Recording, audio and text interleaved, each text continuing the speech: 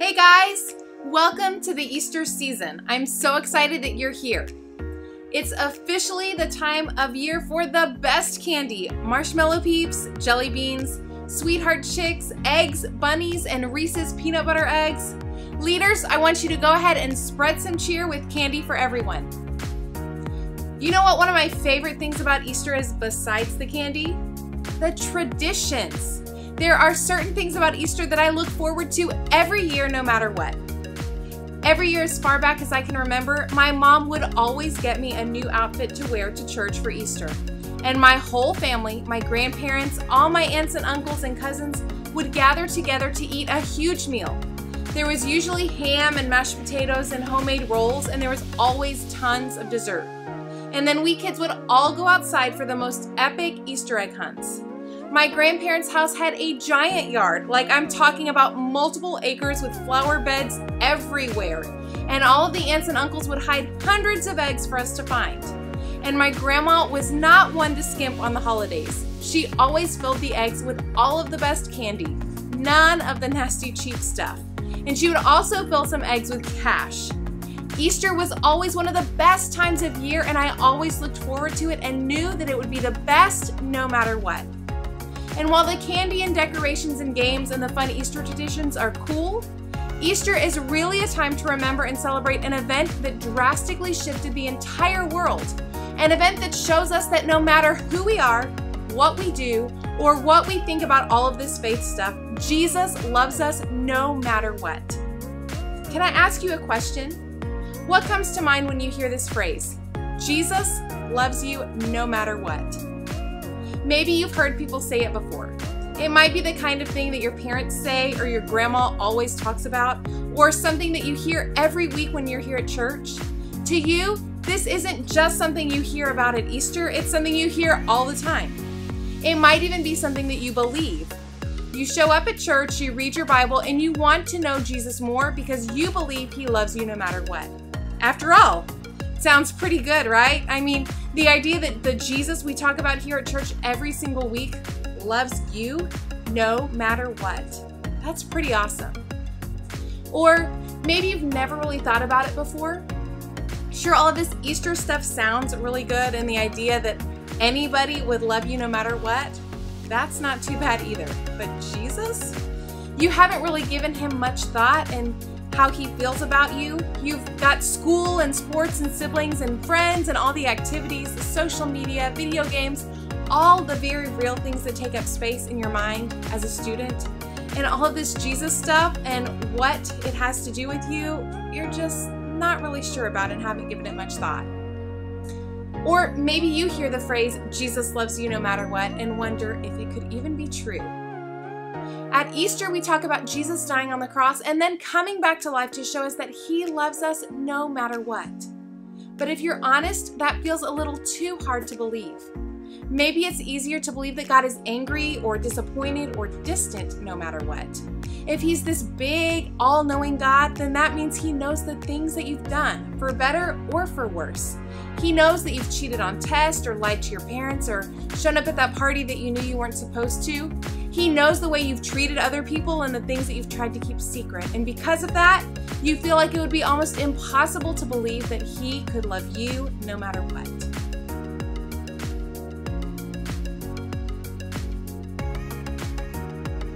Well, whatever comes to mind for you when you think about Jesus loving you no matter what, here's one thing that I want you to know it's true.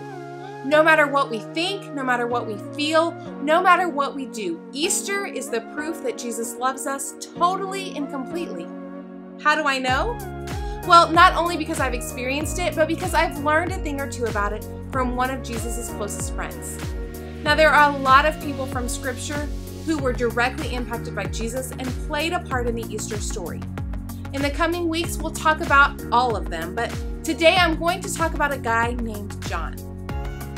Quick backstory John was Jewish, so he grew up studying the scriptures, what we now call the Old Testament. Those scriptures tell the story of God and the history of the Jewish people. But like many Jewish people at the time, John was waiting for God to send the Savior, the rescuer that he had promised to send. It had been a long, long time of waiting for God to fulfill his promise. hundreds and hundreds and hundreds of years. Now, I don't know about you, but when I have to wait and wait and wait on someone, I start to wonder if something is up. Maybe they're angry at me. Maybe I've done something wrong. So I think it's fair to guess that John might have wondered the same thing. Maybe he wondered if God was angry at him and his people.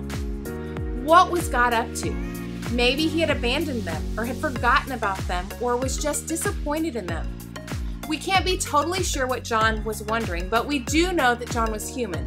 And because of that, I guess at some point he probably questioned whether or not the God that he learned about when he was growing up was really a loving and good God. If he really would fulfill all of the promises that he had made. And I would bet that John wondered what was taking God so long. But then something really big happened. God sent his son Jesus to the world. And as we see in the beginning of the second part of the Bible called the New Testament, Jesus met John and John began to follow him.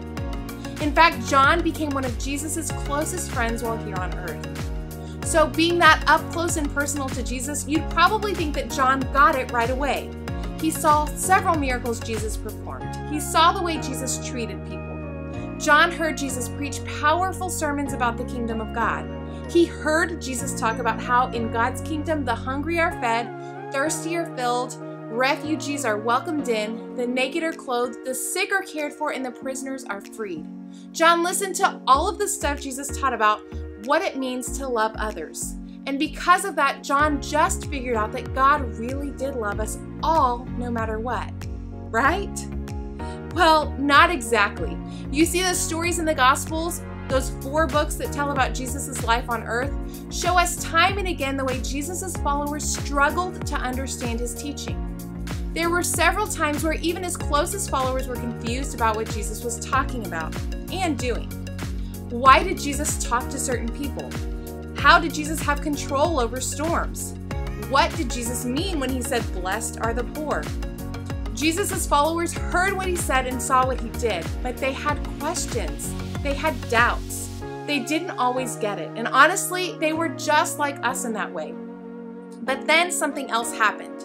Something that we celebrate every year at Easter, and that something changed everything. That something was the resurrection. So, your first question might be what do you mean the resurrection? And the second one is probably why does this matter to me or my friends? Well, let me break it down for you. To resurrect something means to bring it back to life.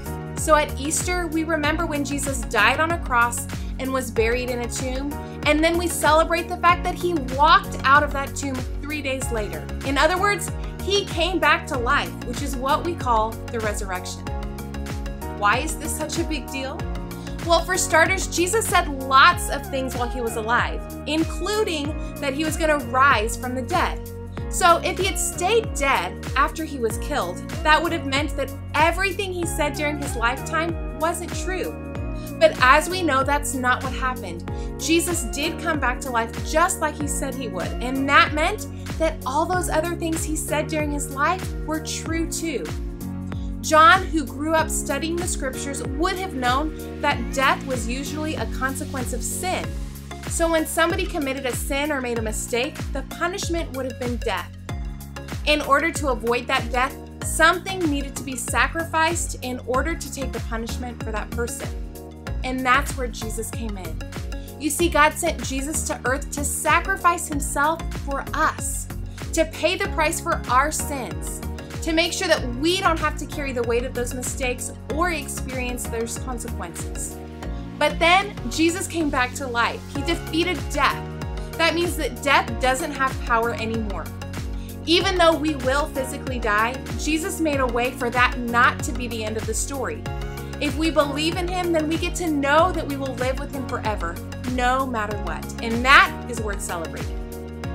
Jesus' sacrifice on the cross changed so much for so many of us, including John. John didn't need to wonder if God had given up on keeping his promise.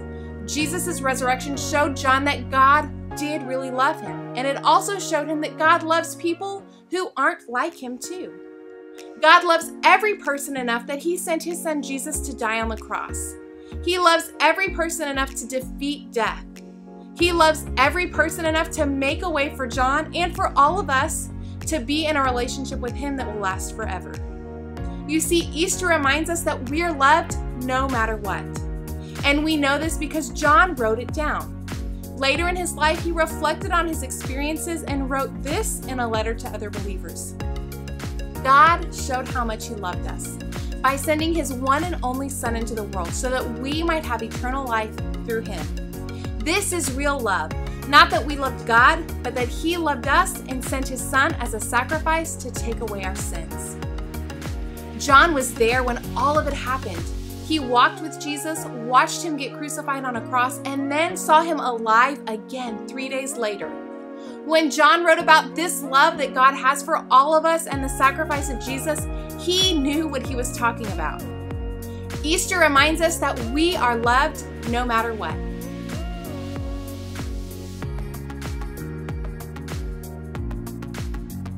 All this stuff John wrote about in the verse we looked at, all the stuff that reminded him that Jesus really did love everyone no matter what, well, that same stuff applies to our lives too. I want us to look at this verse again, but this time I want you to read it in a different way. I want you to read it as if it was written just for you. God showed how much He loved you by sending His one and only Son into the world so that you might have eternal life through Him. This is real love. Not that you loved God, but that He loved you and sent his son as a sacrifice to take away your sins. So, what does this scripture have to do with each of us in this room? Well, what's awesome about scripture is that we can personalize it as if it was written just for us. Personalizing a verse like this helps remind us what God says is true for all of us. The scripture that we just read about God's love is true for you and it's true for me. And that's why at Easter, it matters. It didn't just matter for people who lived thousands of years ago.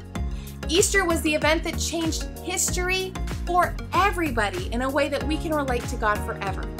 We can have a relationship with God because of what we celebrate at Easter. Easter reminds us that we're loved no matter what.